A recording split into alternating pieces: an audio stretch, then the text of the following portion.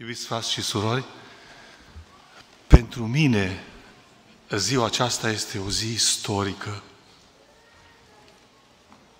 Sunt trei luni de când nu am fost la biserică, de la Mother's Day, mi-aduc aminte când am predicat despre mamă. Este istorică și la un moment dat nu credeam că va mai fi ziua asta.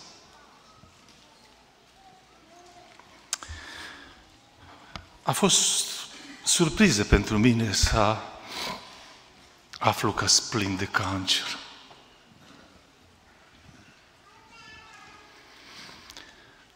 Mă întorsesem dintr-un ciclu de misiune din România, Europa și mi-a fost tot mai rău. Aveam vești că nu-s bine, dar nu credeam. Credeam într-o infecție, anumite lucruri care se pot întâmpla. Ca până la urmă, diagnosticul să fie crud.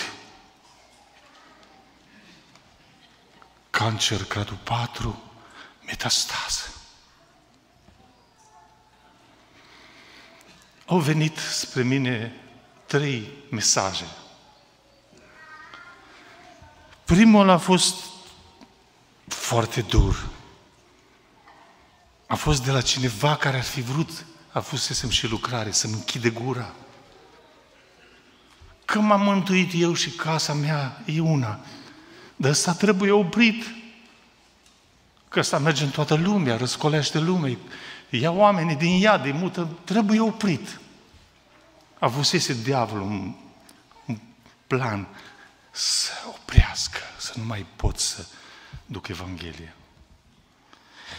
Primul mesaj a fost cam așa, nici nu mi-au spus copiii când Ben a încasat mesajul ăsta, că du la casă și dați medicamente, morfină, să nu sufere mult. Asta este. Copiii au zis, nicio altă șansă.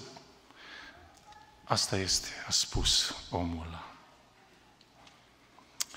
A, a fost un mesaj greu. Ben a spus atunci la doctorul ăla, să știi ceva, când ticul se va face bine, am să te sun.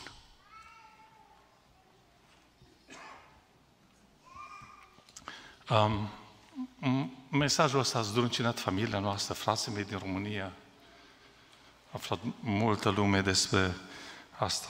N-am știut niciodată că mă iubesc atâția oameni. Nici că frații din biserică sau pastorii. Mulțumesc, frate Vasile, și la tot conducerea bisericii care m-ați căutat, mi-ați trimis mesaje. Unii m-au vizitat. Vă mulțumesc din suflet, Dumnezeu să vă binecuvinteze. Amen. Și la toată biserica, la formații care s-au oprit de repetiții, așa să ne rugăm pentru fratele Beni, corul, fanfara, corul bărbătesc. Astăzi vă mulțumesc din toată inima. Ați fost o ungere, un, un de lemn pe inima mea și pe sufletul meu. Știți, există o zi a răsplătirilor și doresc ca toți să auziți vocea aia care a zis, veniți binecuvântați tatălui meu de moșteniți împărăția, că am fost bolnav și ați venit pe la mine, m-ați căutat. Toți care ați îndreptat un gând spre Dumnezeu pentru mine, pentru Nicu Bordea să știe că și toți care v-ați întâlnit cu cancerul, că nu El are ultimul cuvânt. Dumnezeu are ultimul cuvânt. M-a cutremurat vestea aia. A doua a fost mai omenească, mai blândă. A doua, al doilea mesaj a fost din partea unei doctorițe care și-a propus vreo doi ani să-mi facă chimioterapie și radiații, să fiu un fel de cobai pentru ei. Nici asta n-a fost bun pentru mine. M-a izolat în camera și m-am simțit așa de singur. Ca Ioan Botezătorul, o trăstie clătinată de vânt. Pe sofa mea în meditație, în rugăciune, am zis, Doamne, știi ceva? Ți-am dat cei mai frumoși ani ai vieții mele și Tu mi-ai dat și ți-am dat ține, vreo 35 de ani, cei mai puternici. N-am făcut avere, i-am mirosit ca fără rost în lumea asta. Acum nu mai pot. Te rog să vii până la mine. Eram singur pe sofă. Vorbele astea de nu mai pot, mi le-a spus un proroc din Bucovina. Alo, pentru fratele Beni care a zis, nu mai pot. Am să vin la el, să-l scot din cuptor și să-l ridic treaptă cu treaptă. A fost un mesaj puternic pentru mine. Ca să-l cât mai bine, m-a sunat și un prieten din Detroit. Eram la cer de rugăciune și a zis pentru fratele Beni care a zis că nu mai pot. Cine a auzit vorbele alea? Să mi le spună două persoane. Există Duh Sfânt, există descoperiri, există proroci, există Dumnezeu și un Duhul Sfânt care lucrează și astăzi. Amen, amen. L-am rugat pe Domnul Isus să vină până la mine. Eu știu că El e peste tot cum frații, și vreau să fim în tema lor, Iisus e firul roșu din Scriptură. Și astăzi o să facem lucrul ăsta, să spunem ceva despre El. El este Alfa și Omega. El a început lumea asta și El o va încheia. A, a doilea mesaj și el a fost neplăcut și am chemat pe Domnul, am zis să vii să mă vezi. N-am nicio pretenție Fă-mă să simt că ai venit în cameră, atinge-mă, fă ceva, să cred că ai venit până la mine. Și dacă mă lași așa, și dacă nu mă vindeci, tu tot vindeci bolnavi. N-am eu pretenția să mă vindeci. Asta faci ce vrei tu.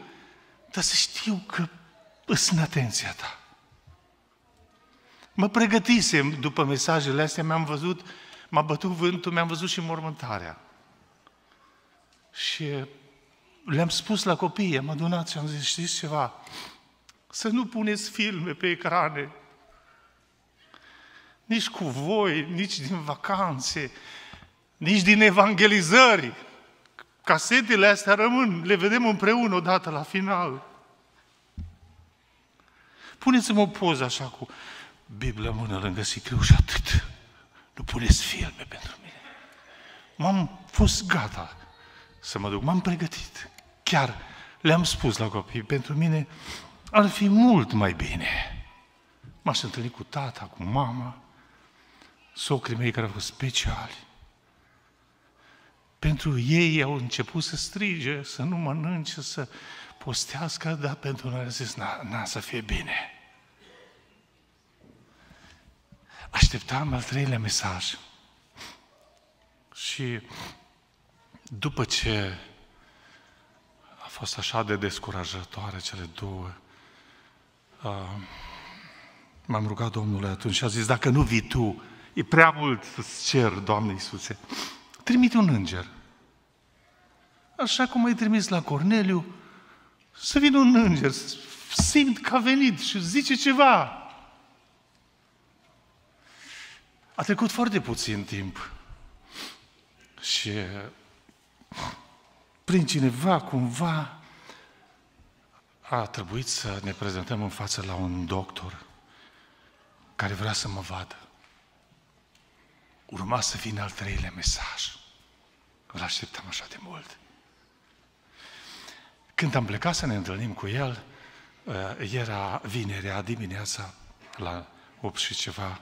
M-am rugat în cameră cu soția și am zis, ca să cred că m-ai vizitat și sunt în atenția ta, tu te înaintea mea la spital și așteaptă-mă acolo. Și eu să văd că tu mă aștepți acolo. Aveți voie să cereți de la Dumnezeu că El chiar îi place să-L punem la încercare, că să descurcă Dumnezeu. Slăvit să fie numele Lui. Așa se face când ne-am dus cu copiii, că cam peste tot toți copiii, cei trei, m-au însoțit. Și când am făcut așa după colți, am văzut un office la partier cu două nărți, acolo stăteau, nu era nimeni. De fapt, ele mă așteptau, programate de doctor special pentru mine. Când m-am apropiat de ușă, una a sărit repede, a deschis ușa, ce am înțeles eu vă spun. A deschis ușa și a zis, you Benjamin? Și da, eu Hai înăuntru, doctorul te așteaptă să vorbească cu tine.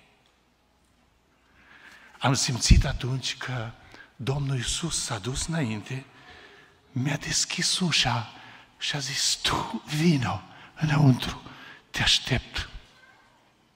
A fost primul semn care am văzut că începe o eră, eră nouă, ceva nou.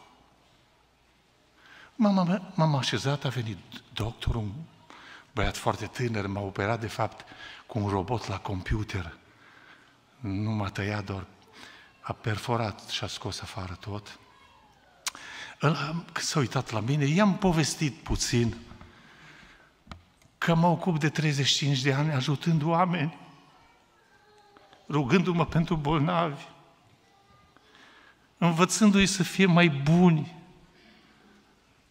în Republica Moldova, în Ucraina, în România de la Ungaria, Austria, Germania, Spania, până în Portugalia, la Oceanul Atlantic, am făcut botez acolo. Apoi în Africa sau în Australia și în America. Dar, doctore, acum s-a obosit, sângerez, spolnav, aș avea și eu nevoie de cineva care să mă ajute. În momentul ăla îmi vine mesajul al treilea. Și-a pus picior peste picior și a luat ochelare, fumurii groși de pe ochi și a îndreptat mâna dreaptă așa cum vă arăt eu. Și a zis, pe tine te ajut eu. Și am să scot afară tot ce e rău din tine și o să fii cancer free. Atunci i-am spus, după ce am fost operat, tu nu știi ce ai zis? Tu ai vorbit atunci și mi-a încălzit inima. Am zis, da, ești aici, stăpâne, fă asta. Dumnezeu a vorbit prin el. Așa se face că după patru ore și jumătate de operație, am ieșit afară fără niciun pic de cancer. Slavă Domnului! Mă pregătise în, în ursa la cinci și jumătate, m-am dus la... Aproape zâmbind la operație, că știam că mers cineva înaintea mea. M-au înconjurat doctorii, nărsa care mă pregătea, știa de la doctor cine sunt. A zis, pastore, câți oameni se roagă pentru tine astăzi? Și am zis, mii de oameni, alții nici nu mănâncă nimic.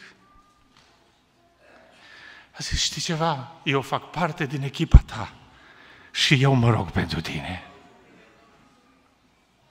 Înainte să părăsesc pregătirea aia, să mă duc în camera de operație, am zis, la, la mulți ani mică, happy birthday!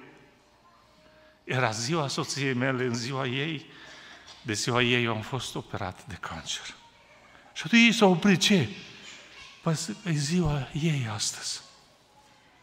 Wow! Și soția a zis la doctor, cadou de ziua mea aș vrea să fie el să-l aduci înapoi fără cancer, fără tumoare. Asta s-a întâmplat după patru ore și jumătate, că am ieșit afară, n-am stat în spital numai două nopți, o singură zi. Deși prăpăt ce au făcut ei acolo, Dumnezeu mi-a dat putere să mă ridic în picioare.